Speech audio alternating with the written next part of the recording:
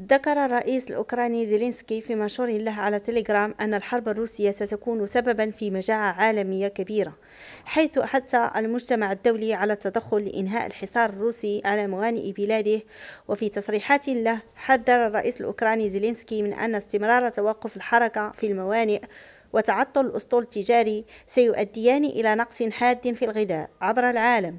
حيث ذكر زيلينسكي أنه لا يوجد عمل ولا حركة دائمة في الموانئ وهذه الحرب لا تضرب فقط أوكرانيا بل العالم بأكمله. فبدون صادراتها الزراعية فإن عدد كبير من البلدان من العالم على حافة نقص الغذاء بالفعل.